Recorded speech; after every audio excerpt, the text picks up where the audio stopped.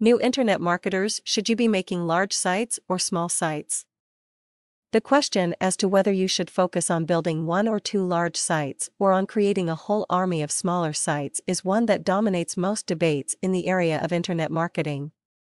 Both arguments certainly have their advantages.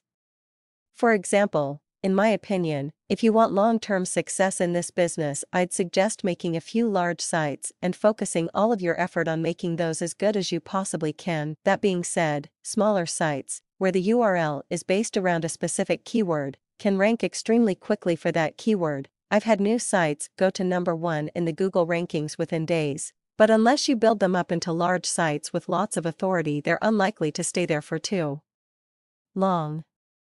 So by this thinking, smaller sites can make you money more quickly, but won't do it for as long. Point one thing I will say is that if you're working with AdSense, i.e. you're making money from your sites with it, then you're probably better off building a few large sites, and no more.